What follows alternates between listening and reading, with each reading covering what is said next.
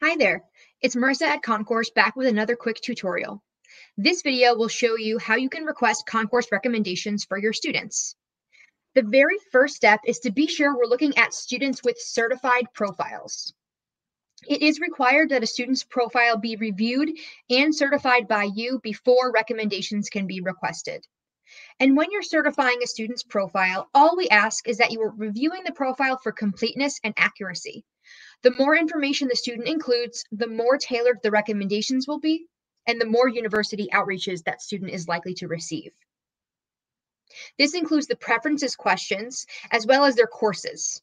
So it is important that we have a sense of the student's academic achievement. So students should be listing all of the courses they've completed along with the grades they've received.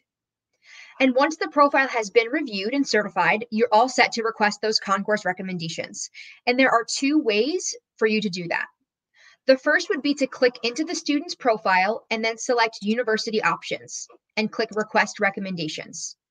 So this is a way you can request recommendations for an individual student. If you're requesting for a group of students, you're able to select each student here by clicking this box and then going up to bulk action request recommendations.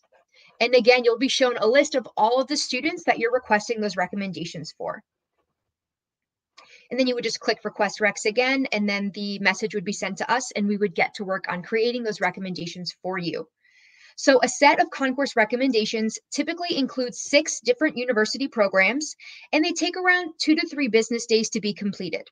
But once they are ready, you'll get an email prompting you to log in. And when you visit your homepage, you'll see those recommendations turn up here under options to review.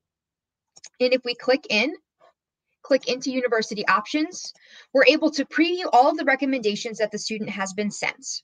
And if we're happy with those recommendations, you can click approve and forward them on to the students.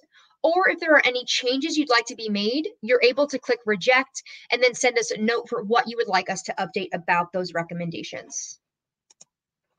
So that's all for now. Thank you for watching.